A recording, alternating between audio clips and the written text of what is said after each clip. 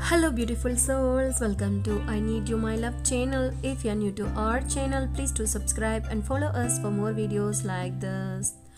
For the next three days, you were the center of my world, and I thought I was the center of yours. You told me you'd planned something for my birthday, told me about all the dates we would go on, told me I was pretty every day. Until you sent me the text that blew up my world, I told you that you looked cute today, and you responded with, I'm not feeling it anymore. Four little words, that's all it took to destroy us. A week passed. You got a new girlfriend, and I was left with tonsillitis and a shattered heart, wondering what I did wrong. I didn't speak for a month, cried so much I thought I would drown, and you didn't even care. I wonder if you ever cared at all.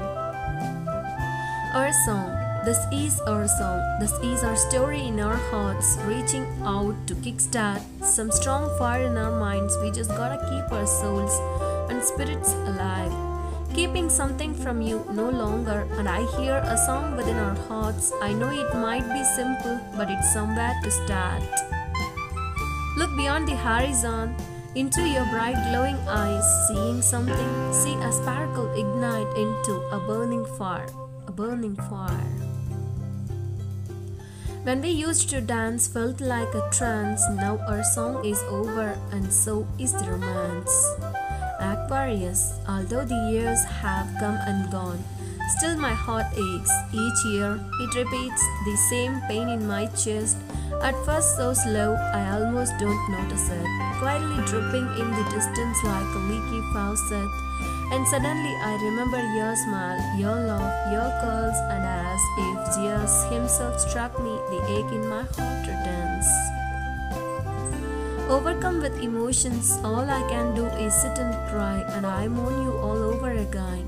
And yet you are still breathing, or I should have let go already. Happens around the same time each year. Sometimes it comes a few weeks early. Sometimes it's right on the nose. I know it's all rose colored glass. I know it's all a fantasy I cling to. Just know I pray for you still. I pray that you're happy and at peace.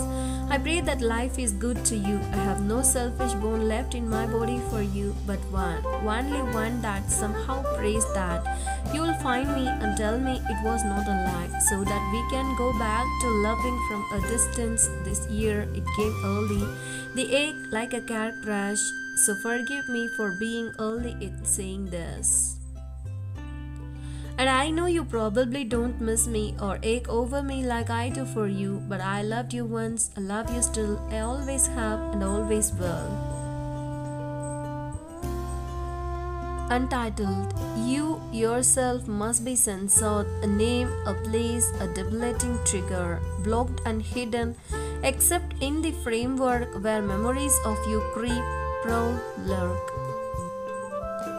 You're dead, you're done, I owe you nothing. Are you forgetting that night I see when you're bluffing?